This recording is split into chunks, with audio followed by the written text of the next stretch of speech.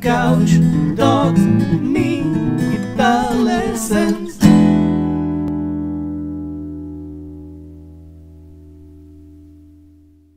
Hey there, LickNRiffers, how are you doing? I'm Asaf Levavi and I welcome you to Finally Understanding Chords, the full 10 lesson course on chord theory for free right here on LickNRiff.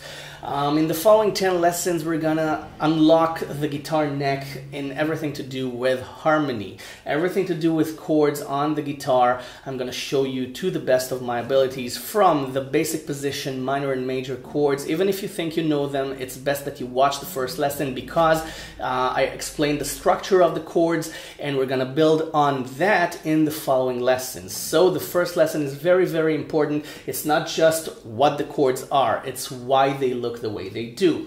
Um, and we're to build on that and look at all the embellishments the sevens, the minor sevens, the major sevens, the nines, the suspended chords, the flat uh, five, the sharp five. 13s, 11s, diminished, diminished sevens, augmented, everything. Um, and even more complex chords with more than one embellishment. So uh, from basic chords to jazz chords and everything in between, we're gonna touch everything in the following 10 lessons. But I wanna dedicate this introduction to tell you uh, the most important thing that we're gonna touch again and again in order to unlock the chord theory, uh, which is the order of the embellishments in the scale. Usually when music theory and chord theory is taught, you're talking about the uh, order of the notes in the scale. But I personally haven't seen many teachers talk about the embellishments in the scale, and that causes all the confusion. Uh, you see numbers, you see different names, different embellishment types, and you have no idea what they mean unless someone shows you a shape. But and here's the important thing. I'm not going to use tabs. Well, sometimes I'm going to use tabs when absolutely necessary, but I'm not to use diagrams. Diagrams make you lazy. I want you to understand why the chord looks the way it does on your own. I want you to understand the concept of chord building on the guitar and just giving you a shape, telling you that this is a flat nine jazz chord will, give you nothing because you won't understand what notes are inside that chord. And that's what I want to do with this series. I want you to understand the chords deeply. And sorry, and uh, you see, I'm very enthusiastic. So um, it's also physical for me. So, um, for example, what is this? Okay, it can be three different chords and I will show you why. It's not enough to know shapes. That's the first important thing that I want you to know. Now, let's talk about the embellishment order of the scale. Okay? Um, the 12 notes of the, uh, you know, the musical uh, method. In Eastern music, you have more than 12 notes because you have quarter notes, but in Western music, you have 12 notes, the chromatic scale, right? The whites and the blacks on the keyboard.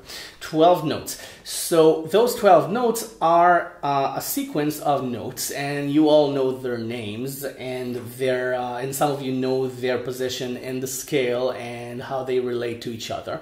But I'm going to talk about the embellishment order. And the, the title slide that we're going to see most of the time on the screen is, uh, is this one we have the first note, the root note of the scale itself that we're playing, the root note of the chord uh, that we're playing. It's the one. The one of the chord is the bass note of the chord, not always, but most of the time. So the one is also the eight, because if we have uh, C, D, E, F, G, A, B, we have C again, the eighth note, so one is eight. That's very important because then you know um, when we're going to break down the structure, you'll know where the eight is in the chord, and then you'll know where to put the nine, where to put the seven, okay, where the major seven comes in. It makes everything a lot easier. So one is nine. Two is the 9 because if 1 is 8 then 2 is 9 and that's why you have add 9 but sus 2 they're two different chords and we're going to discuss that. Um, but it's important to understand that between 1 and 2 you have the flat 9 okay? Because if 2 is 9 then between 1 and 2 you have an extra note there the flat 9 The third note in the chromatic scale is the minor third. The minor third, if you have a minor chord, you have the minor third. We're going to discuss that. The next note, of course, is the major third. So uh, we have two threes. We have minor third and major third and that sometimes creates confusion for beginners with different chord shapes on different string sets. So it's important to know that you have two different types of third. And the next one is the fourth. The fourth note is also the 11th note. Okay, 4 is 11. And uh, next you have the flat 5. The flat 5 is used mainly in diminished chords and half diminished chords. And then you have, of course, the 5.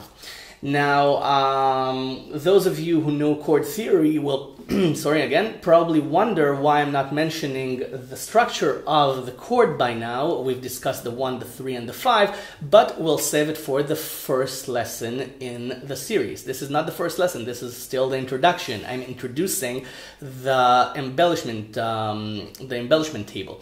And after 5, we have sharp 5. Remember that, sharp 5 Okay, now let's move on to the next one. The next one is six. The next one is the sixth note, and the sixth is the thirteenth. Okay, if two is nine, four is 11, then six is 13.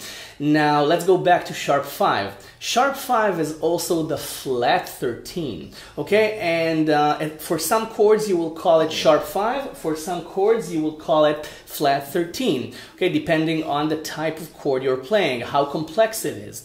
Okay bear with me. We have two more notes. The minor seven, okay, the seventh of the minor scale, and um, let's not keep her out of the loop, of the petting loop. Um, we have the seventh of the minor scale, so that's the minor seven, and we have the major seven, the seventh of the major scale. And that also creates a lot of confusion, and I'm going to dissipate the confusion when we have the seventh uh, lesson, which is the second lesson in the series, because the sevens are the most important uh, embellishment of all. They're the basis for all the more complex chords. So uh, I'll see you in the first lesson. You have fun, and if you're confused, just refer to this lesson, to this table below. Just refer to this table, just refer to this introduction video, come back take your time and you'll do fine. Now go to the first lesson about chord structure, basic chord structure. I wish you a lot of fun and uh, I will see you in the next lesson. Bye for now. Thanks for watching.